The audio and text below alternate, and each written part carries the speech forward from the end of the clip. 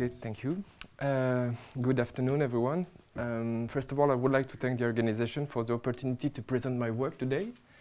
I decided to um, present the progress of our research work concerning the functional analysis of postbiotics that analyze symbiotic relationships between the gut microbiome and the host genome. So, um, as you know, the gut microbiota is a complex system of mutualistic microorganisms hosting 100 trillion bacteria representing 1 to 3% of body mass, encoding for maybe 4 millions of genes. And it sits at the interface between the environment and the host organism. And it contributes to um, nutritional processes through many bacterial specific metabolic reactions. So our objectives were to identify biological relationships between the gut microbiome and the host genome through the identity metabolomic uh, profiling and physiological phenotyping. I, I, am not sure it's important one. You say there are 100 trillion bacteria. Yeah. I read several places there are 10 times more bacteria than cells in the body. According to this, yes, it's, it's less. Okay, I agree. So where, where is no. this number coming from, the 100 trillion? Mm. Wikipedia. no, not Wikipedia. Maybe oh, it's the same thing. Uh, you know, uh, PubMed. Uh, no, I found it in uh, in one papers. Um, so yeah, I will. How it was counted? Verify. different way to count. How it was counted. Well, the protocol. There's several counting protocols. It's not obvious. How you count either of them? I don't know. So for urine, it was only recently the number was correctly estimated. That's right? Well, uh, I don't think this is the major point of this talk. Uh, Thank you. I will try, and you have a good, good point of view about um, how, but I don't know. So, uh, first, I try to continue, and uh, we um, established correlation uh, analysis in human. We used interrogated uh, gas chromatography. Sorry, up. This machine. And we uh, obtained uh, peaks uh, corresponding to metabolite signals. Uh, we acquired around 15,000 metabolites, and we obtained this kind of figure, which gave us a cluster of co-regulated metabolites.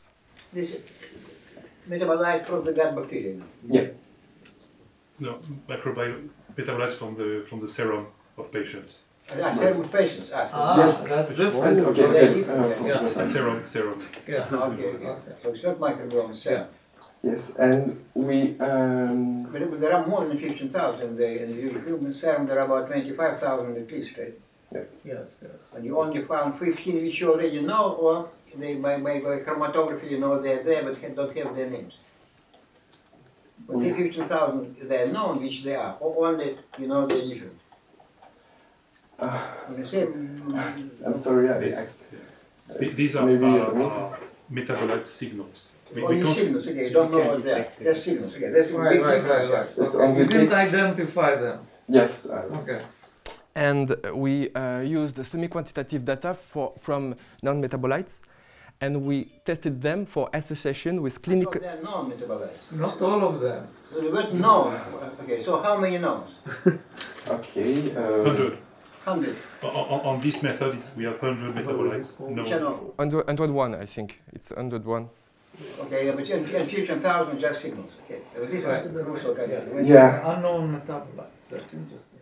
And we um, demonstrated that one uh, metabolite, the focresol, is negatively correlated um, with obesity and diabetes. So, um, focresol is a phenol Negative correlated with what kind of diabetes? Type 2 diabetes. Type 2 diabetes. Type 2 diabetes. Type 2. Type so this is going to divide into five groups here again. Hmm. Type 2 recently I read they divide into five or six groups. Yeah, yeah. Well, genetic. In general. Okay. Sorry, I'm, I'm okay. Uh, focresol is a phenol metabolized from uh, tyrosine by microbiota. Here is the structure of the phenol. We can also find cr uh, cresol at, lo at low levels in food, such as vegetables, tomatoes, asparagus, cheeses, butter, bacon, and also in some drinks, such as coffee, black tea, wine, uh, brandy, and rum. So we are physiologists. That's why we developed a pipeline to investigate the different uh, role of uh, microbial metabolites in vivo in mouse. For this reason, we use C67 Black 6 mice on show diet or on high-fat diet to study the obesity and insulin resistance. In fact, we used these uh, osmotic pumps from Alzet. We filled uh, this reservoir with a metabolite solution and we put the um, osmotic pumps here in mice. you Um, connected with the, with, the, with, with blood or what? What exactly you done? Under the skin. Under the skin, under the skin, under the skin. It's a, a little incision here in dorsolateral, and we put the, um, the pumps under the skin. Uh, the experimental design was four groups of six male mice, uh, control groups with pump containing saline on show diet or on high-fat diets, and uh, experimental group with the metabolites of interest, today the cresol, on show diet or on high-fat diet. Here you can see the experiment timeline. But what level of concentration comparable to what? Uh, it's a very good question. Um, we used um, 0.5 milligrams per kilo uh, of mice per day. It's, uh, I think the concentration is a thousand times smaller uh, than toxic uh, concentration. We um, performed a toxicity uh, analysis uh, There is normal concentration in blood, how it compares to what you observe in blood. in blood, it's very, very, very, very uh, complicated because I saw in the literature maybe point, w- point eight uh, micromolar to uh, 150 millimolar. So it's, it's, It's a range. There's a range. It's a big range. It's a big range. I, I don't have the, the, the answer, unfortunately, but we're gonna check in our uh, in a larger data bank. So we uh, tested several molecules, and today we're gonna focus on the chronic infusion of forcresol. So first, we wanted to check How big groups of mice? How much mice in the group? uh, six. Six. Oh, six. Oh, Six. small groups. Yes. Yeah, well, could be statistically significant. So uh, we wanted to check the effect of this metabolite, the forcresol, on uh, glucose homeostasis. We performed an IPGTT. IPGTT is for intra intraperitoneal glucose tolerance test. In fact, we injected a glucose solution, 2 grams per kilo, uh, to animals and to control their response to this glycemic stress over time. In fact, we measured the glycemia during the time. First, we wanted to um, measure the impact of the diets.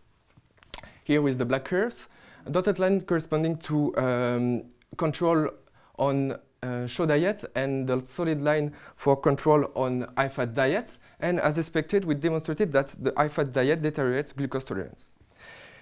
Now, um, we had red curves corresponding to uh, groups uh, under forcresol treatment, and we demonstrated that the forcresol improves the glucose tolerance, as confirmed by the calculation of uh, Ariander curve.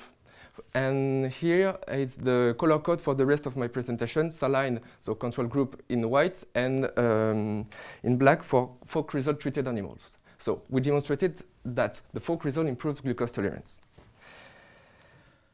In parallel, we uh, collected blood samples and we measured insulin secretion uh, using ELISA assay. And we uh, demonstrated that here with the black bars that the fork results successfully stimulate the glucose-induced insulin secretion. The most striking observation in our, our experiment was concerning the pancreas weight. We did ratio pancreas weight on body weight, and we observed this corresponds more to, to, to diabetes 1. The phenomenon you observe would rather correlate to beta 1, not beta I, I think it's diabetes 2 type. Pre, pre-diabetic state, they have high level of insulin and they control the lab, Yes. blood glucose. But But later the on, the pancreas is uh, uh, overexhausted, insulin level goes down, and glucose level go up. But this is what is occurring in patients before they show up high blood, uh, high glucose level in the blood. Normally, with high-fat diet, we induced uh, type 2 diabetes. So uh, chronic administration of foc strongly increases the pancreas weight when compared to mice uh, to control mice. That's why we analyzed the uh, histology of pancreas to test whether the islet structure was affected by focresol. We um, performed uh, hematoxylin eosin uh, staining, which uh, stain in pink here islets of Langerhans, which produce uh, insulin. You can find here too. And we confirm this with immunochemistry against uh, insulin, with an antibody against insulin, here in brown. And with statistical analysis, we uh, observed that the focresol administration is associated with a strong increase in both islet density and um, insulin positive area. To investigate the possible cause of uh, this increase of beta cell area and insulin, insulin uh, islet density, we uh, performed a co-localization experiment against insulin, like in the previous experiment, and uh, against K67, because K67 is the biomarker of cell proliferation. So we reproduce the same thing here with the statistical analysis that the focresol increases the size of uh, islets. And here with the K67 approach, we demonstrated that the focresol increases the number of proliferative nuclei in islets. So we have proliferation with focresol. The next and last step was to understand or to document the mechanism that uh, focresol, uh, through focresol um, can impact the um, cell proliferation. So um, one kinase, the DYRK1A, sorry for the name because it's very long, uh, it has been demonstrated that this kinase um, can be uh, inhibited by the armin, this, in fact, and this inhibition increases the human pancreatic beta cell proliferation. In another paper here, uh, we can also find that the inhibition of DYRK1A stimulates the beta cell proliferation. So our hypothesis was that the focresol can mimic the effect of armin on metabolism and beta cell proliferation through the inhibition uh, of DYRK1A.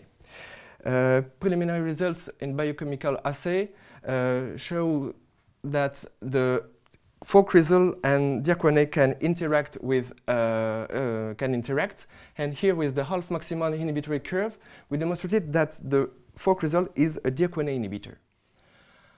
Finally, we performed qPCR analysis in our um, animals and we demonstrated that the focresol downregulates the mRNA expression of DYRK1A.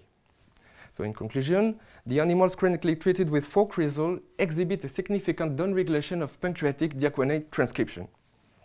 To conclude, uh, we wanted to illustrate the effects of this gut microbial activity on human health. In fact, uh, tyrosine is metabolized by microbiota in focresol. Focresol can interact with DYRK1A, and the result of this uh, interaction has an impact on pancreas. Um, the focresol uh, increases the beta cell proliferation, insulin secretion, and downregulates the mRNA level of DYRK1A. Our data illustrate the health benefits of postbiotics which involve communication between bacterial metabolites and the host through the regulation of cellular proteins. Wait, wait. So uh, focresol is affecting the transcription of. Yes. Uh, yes. Yes. Uh, the level of the protein, just the transcription. We don't know yet. We have to. You are showing here mRNA expression. The mRNA expression, but we hope that it's correlated with the protein, but we don't know. No, no, no. I'm saying that the mechanism is through mRNA expression, not the protein. Okay. Okay. okay. Transcription is versus translation. Right. Right. Okay. Yeah. Okay, uh, I would like to thank just my lab, uh, my supervisor, Dominique Augier, present here, and all my collaborators from Kyoto University and uh, McGill. Thank you.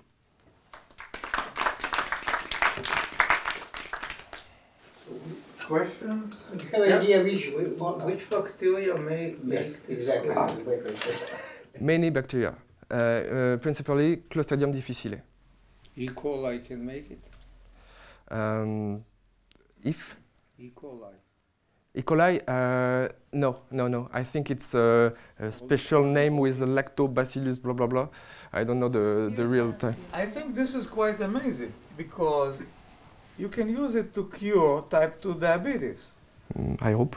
for cresol Uh, we applied. instead of giving them insulin.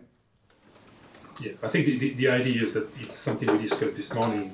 It's the how we can we can uh, change the bacterial bacterial ecosystem Yeah, yeah, and yeah. drive the bacterial right. But ecosystem to produce the something is focresol by the itself can replace insulin. It- it- This is the it- major thing because it's very difficult to transplant uh, a, a pancreatic uh, beta cell in patients with type 2 diabetes. But this is this can do that because it increases the proliferation of the cells. Yes, exactly. If I can answer. Uh, we performed the experiment on a type 2 diabetes model uh, Yeah. in rats, GK rat, Yeah. and we restore the beta cell proliferation. So it, it's, uh, well, yeah, it's wow, but uh, we have to be, uh, so glucose tolerant test. Yes, yes. And, And we- fine. yes, and we uh, demonstrated that the structure of islets, because normally the pancreas of GK rats are totally disrupted, and uh. Yes, yes, yes, yes, yes, we are, we are uh, trying to, to patent now. Okay. Yeah. What's the solubility of cresol and how do you think it gets from the intestine into the pancreas? The availability? Solubility. Um, soluble compound, so I'm curious whether there has to be a carrier or something that gets it. To Uh, I think that cresol can interact with albumin. That's the only thing I, I know. Interact with them? Ah, okay. Oh, with no more questions, there are no more questions, uh, we'll go to the second talk.